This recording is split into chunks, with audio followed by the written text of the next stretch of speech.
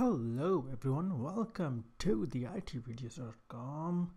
In this video, I'm going to talk about how we can solve a very pressing bug or a very common bug that we see uh, every now and then whenever we make an update to the model and that error looks something like this. This is also known as the yellow screen of death uh, on the ASP.NET so we are going to go in detail not in so much detail but um, I will show you how we can fix this error. Let me show you what I have here. So I have this uh, page here and this page was created using the scaffolding technique. And I have here name the color the year and the country which is based off of this model.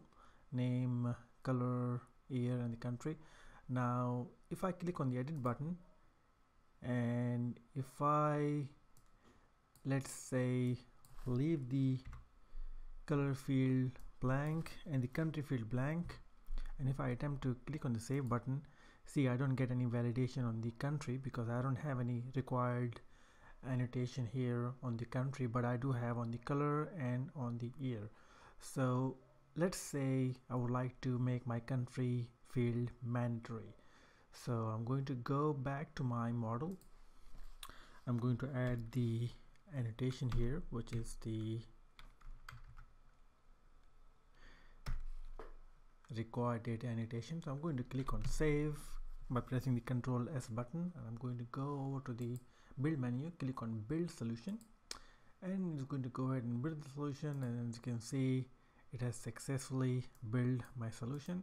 Now I'm going to go over to my app and if I just refresh the page or if I go back to the list you may see something uh, not as expected. This is what you would expect.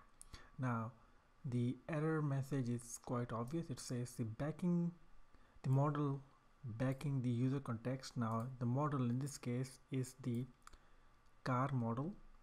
So it says the model backing the user context has changed since the database was created because when I created the database or this is the code first model the country field was set as not uh, was set to be null allow null values. Now here I'm changing the uh, the option to be not null. So when I say required it goes ahead and updates the database and sets that to not null.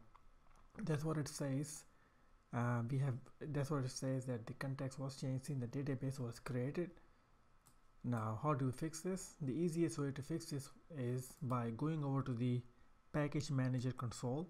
Now I have used the data migration and uh, is by using a simple command called update database verbose force. So this actually sends the message saying well uh, we would like to update the database and we know what uh, changes we are making and we are happy with the changes. So you can just go ahead and click on the you can just type in and just press enter. Is going to go ahead and run the command and as you can see it made the change to the car uh, table which is right here. And it set the value to not null. So you see that and see what I have here in the model. So that's the change that it made and everything all looking good. Now if I go back to my